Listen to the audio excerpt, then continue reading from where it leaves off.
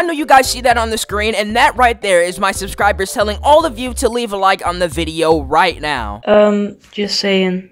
Leave a like. Um, she, she kind of sounds like Quagmire. I wonder why she sounds so sad. Now, if you also want to be involved in stuff like this, go ahead and follow my Instagram. Also, join the Discord server because you can definitely find me there as well. Anyways, let's go ahead and get into the video. What is up, everyone? Alright, welcome back to another video on the Pointless YouTube channel. And listen, for today's video, we have a very, very interesting and disturbing topic, if I'm being 100% real with you. Because there is a family that consists of YouTubers, which uh, basically ended up, let's just say, taking out their dog. For let's just say not only clout purposes but uh seemingly no reason at all and uh it was nobody at fault but this family. I got this idea from a fellow talking channel that goes by the name of Decept that a lot of you guys know. And well let's just say i could not pass up the opportunity to talk about how insane this entire situation is. So uh make sure you guys sit to the end because you're definitely not gonna want to miss this one bit. Before we do officially get into the situation make sure to subscribe to the channel because i'm trying to hit you know 20,000 subscribers and you clicking that free red subscribe button would mean the world to me. It's free and you can always change your mind later, so uh, yeah, without further ado, let's go ahead and get right into the video. Now listen, our society doesn't have the smartest human beings ever, so therefore, uh, a very, very massive holy grail uh, on our planet besides uh, quote-unquote humans is pets and animals, and well, one of those pets slash animals that everybody loves and you know, you, you can't get enough of is dogs. Now see, dogs are not only there to protect you just in case, you know, somebody tries to uh, harm you, but they are definitely there to be a comfort in a and you know, to be your friend, and well, they become sort of, let's just say, a part of your actual family. So, of course, if someone, you know, purposely harms a dog or, you know, tries to put it in any sort of danger, people are going to get mad and it's going to stir an entire bit of drama on the internet. And well, that's exactly what happened to the Phillippi family. Because not only did they have their dog put down, uh, they, they did it for seemingly no reason at all. Now, they made an entire response and there's been numerous articles written on this entire situation, so, uh, yeah, I'll play the apology, you know, later on in this video. So make sure to stick to the end for that. But for now, we're gonna read a bit of an article on these people just to get an idea of the entire situation and quote-unquote why they did it in the first place. Now, this article starts off by saying, beginning of last week, Nikki and Dan Phillippi's dog Bowser was euthanized. Now, for those of you who don't know what euthanized mean, it basically means that you put something, especially a cat or a dog, down, uh, let's just say humanely. Now, the article also goes on to say the influencers hopped onto their YouTube channel to tell their subscribers the tale of how they came of the decision. It turns out that a couple of days after a photo shoot with Nikki, Dan, their young son Logan, and Bowser, the dog displayed aggressive behavior towards Logan. Pictures of the photo shoot are all over the couple's social media pages. Now you may be saying, Mr. Pointless, why exactly did uh, Mr. Bowser decide to act so, you know, ag aggressive with this little child? And well, if I just go ahead and read the part of another article, you will definitely, you know, after reading this, will understand exactly why the dog did what it did. There's only one thing that could get the internet this riled up. Dogs. YouTubers Nikki and Dan Phillippi revealed they had euthanized their 9-year-old dog Bowser in a YouTube video on Monday after an incident in which he bit their 1-year-old son Logan. The dog reacted to Logan taking food from him, the couple said. But the injury wasn't bad and their son has a little mark. In the moment, I'm thinking I grew up with the movie Old Yeller and I wanted to pick Bowser up by the back of the neck and take him to the backyard and put him down right then and there. Now, for those of you who aren't too educated on dogs, let me just tell you something, alright? If you know you do do what Logan did, even though he's a one-year-old, I'm not trying to blame it on him at all. He did not know this would happen, obviously. But being that this innocent little child named Logan just, you know, took this food from this dog, it's going to react being aggressive, and, uh, well, it ended up biting Logan. So I want to know why you, as a parent, would have your one-year-old child around a massive dog that, according to Dan, has, uh, showed signs of being very aggressive in the past with other dogs, and then get mad when this dog goes ahead and acts normally aggressive towards this child because it, it did something that, of course, triggered it, and then you want to go ahead and put down the dog simply because you, not, oh, not the dog, not the dog or the kid, you messed up by letting the dog and the kid even be anywhere close to each other. You know, I can't get enough of 2021, man. It's, it's a crazy year. I thought 2020 was bad, but uh, something is just wrong with this year already. Now, you see, I can understand how this parent would, you know, get mad at this because it's, it's his kid. I mean, he doesn't want it to get in any harm at all all. But you see, this is a situation you pretty much caused. I mean, you can't get mad and, you know, decide to end this dog's life simply because of that. And you see, I'm not the most educated on dogs or anything like that, but I know there were totally, you know, better situations or solutions that could have happened besides taking the dog's life. Because, you know, not only can you give these dogs away if you know you may not be able to properly take care of them, you can also get dogs better trained. And they avoided both of these options and decided to, you know what, just let, let's go ahead and put down the dog. Let's do that. But you know what adds the icing on the cake is because right before they decided to, you know, completely end this dog's life, they decided to go ahead and post the, the, the photo shoot they've been mentioning all over Instagram, all over their social medias, and just decided to run with it. Now, you know, a point that I saw Decept bring up, which I just wanted to go ahead and, you know, mention in this video, is the fact that their channel wasn't, let's just say, the most active right before they decided to do what they did with their dog. But ironic enough, as soon as this stuff comes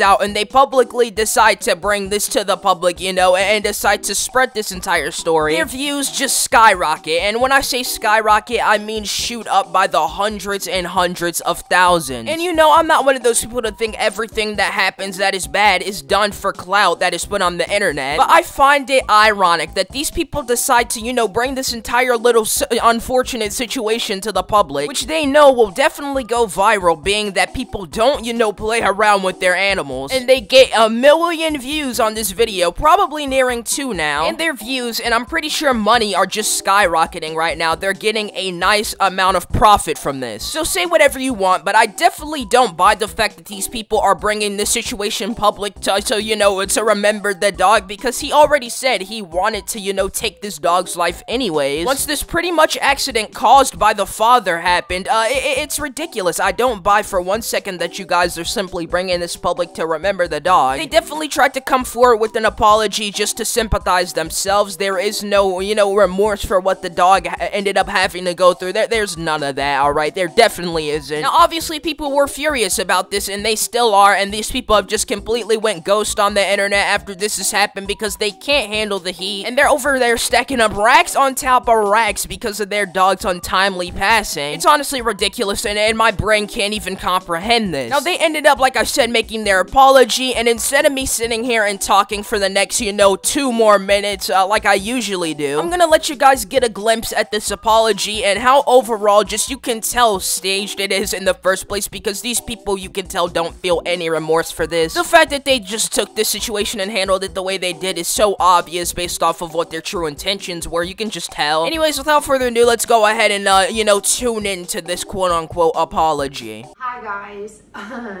I feel um, awkward just like opening this video.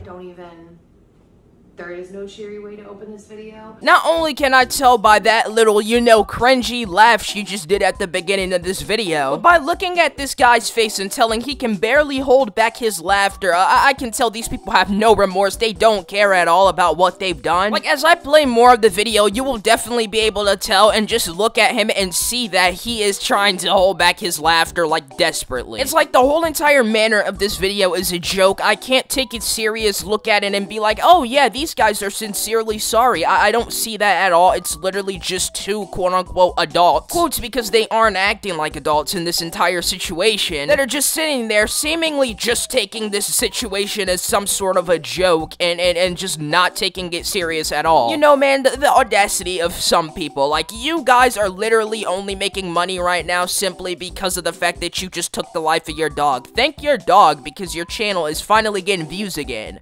And so we're here today to share with you um, what's been going on in our life. Now, you you already know, I mean, by the time, well, no, you don't know by the title, but you know if you follow us on Instagram. Um, and so I'm just going to jump to the point and then we're going to back up and tell you the story and explain. Um, so over- Alright, you know, honestly, I'm done with this video. I can't stand looking at his face any longer. You can tell he's literally trying his hardest not to smile. Anyways, that's all for today's video. If you guys enjoyed, make sure to like, and if you do decide to like the video, excuse me, also subscribe. Because I'm trying to hit 20,000 subscribers, and like I said, you doing that would mean the world to me. Anyways, without further ado, I'm gonna go ahead and sign out, and I'll see you guys tomorrow. Peace.